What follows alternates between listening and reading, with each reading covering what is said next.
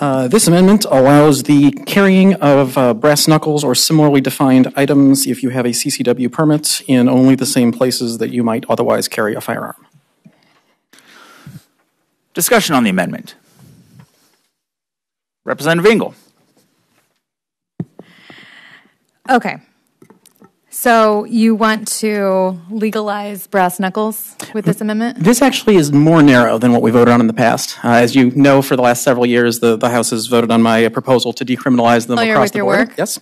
Uh, For the purposes of making sure that this fits well within the title of this bill, as well as not taking too large of a bite uh, out of the apple, this only decriminalizes uh, brass knuckles for those who have a valid and current CCW permit. It would The not for the general public. CCW permit would then be altered to also allow you to conceal brass knuckles. Correct.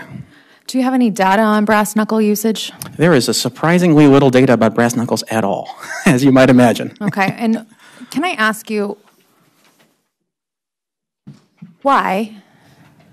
Well, why not is the better question. Uh, that's fair. So Thank- realistically speaking, the, the, the statute that, that I'm seeking to amend uh, has a variety of uh, fairly dangerous weapons uh, and then a piece of metal with some holes in it. It doesn't belong in there. It's something that's been a pet peeve of mine for years. Uh, there's not a huge number of people crying out for this, but it's also not hurting anybody to take it out. So. Okay, so, so to be clear, we would, should this bill become law, we would have potentially veterans who may or may not have been dishonorably discharged, not lobbyists, lawmakers, able to carry brass knuckles into schools if they had a CCW permit.